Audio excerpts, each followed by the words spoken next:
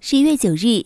第二十四届华鼎奖颁奖典礼在香港亚洲国际博览馆举行。今天，众星齐聚湘江河畔，亮相华鼎奖红地毯，仿佛感到走过来的不仅是大家熟知的各路荧幕精英，更是一道道夺人眼目和艳丽无边的风景线。随后，华鼎奖的各个奖项也陆续落花有主。中国古代题材电视最佳女主角由来自内地演员吴谨言夺得。她表示，自己从获知入围后，心情就比较紧张。如今拿到这个奖，除了开心外，觉得更。多的是对自己的一种鼓励。又报新戏《浩然传》定档本月十五日，在剧中会和聂远老师演绎一个爱之深、恨之切的励志好戏。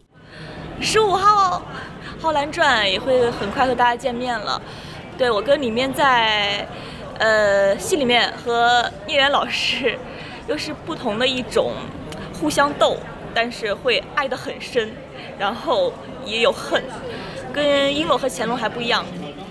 百强电视剧最佳女配角则由来自台湾演员张钧甯夺得。提及在内地节目《我就是演员》跟男星彩排时意见不合，张钧甯否认翻脸，认为看剧本有意见不合是正常的，最重要是出来的效果好。问到最近和有关心好友范冰冰是否重头工作了，她就表示不想回应太多，但两人一直有互相关心。现在的状况其实就是跟大家知道的差不多。那反正我跟他就是一直会有关心，那我没有太知道他的回应是什么这样子。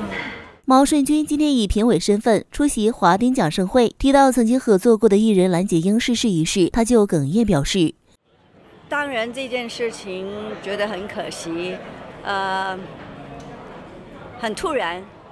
我觉得生命真的很脆弱，要证实每一天。”